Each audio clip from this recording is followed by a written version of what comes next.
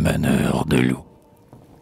Je venais de franchir la barrière isolée, et la stupeur nocturne allait toujours croissant, ce ravin tortueux à la tour écroulée, quand soudain j'entendis un bruit rauque et perçant. J'étais déjà bien loin de toute métairie, dans un creux surplombé par une croix pourrie, dont les vieux bras semblaient prédire le destin. Aussi, la peur, avec son frisson clandestin, me surpris et me tint brusquement en alerte. Car à cent pas de moi, là, j'en étais certain, le grand meneur de loup sifflait dans la nuit verte.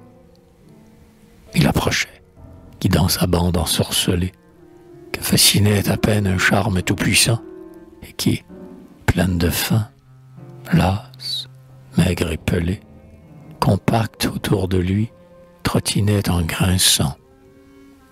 Elle montrait, avec une sourde furie, ses formidables crocs qui rêvaient la tuerie, ses yeux qui luisaient comme un feu mal éteint. Cependant que toujours de plus en plus distinct, grave, laissant flotter sa limousine ouverte, et coupant l'air froidi de son fouet serpentin, le grand meneur de l'eau sifflait dans la nuit verte. Le chat huant jetait sa plainte miaulée, et de mauvais soupirs passaient en gémissant. Quand, roide comme un mort devant son mausolée, il s'en vint près d'un roc hideux et grimaçant.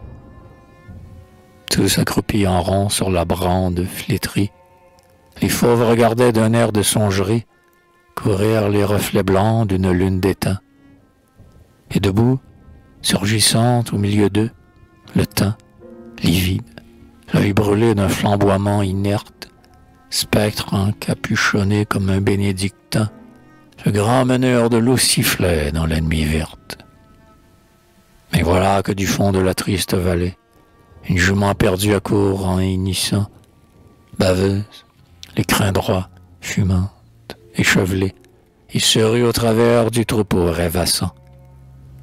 Francs comme l'éclair, tous, ivres de barbarie, ne firent qu'un seul bond sur la bête ahurie. Horreur! Sous ce beau ciel de nacre et de satin, ils mangeaient la cervelle et fouillaient l'intestin de la pauvre jument qu'ils avaient recouverte. Et pour les animer à leur affreux festin, le grand meneur de l'eau sifflait dans la nuit verte. En vain, rampant au bas de la croix désolée, je sentais mes cheveux blanchir en se dressant et la voix défaillir dans ma gorge étranglée. J'avais bu ce spectacle atroce et saisissant. Puis, après un moment de cette boucherie, aveugle, à bout de rage et de gloutonnerie, repu, les chansons poils que le sang avait teint, tout le troupeau quitta son informe butin. Et quand il disparut louche et d'un pas alerte, plein de hâte, au premier rougeoiement du matin, le grand meneur de l'eau sifflait dans la nuit verte.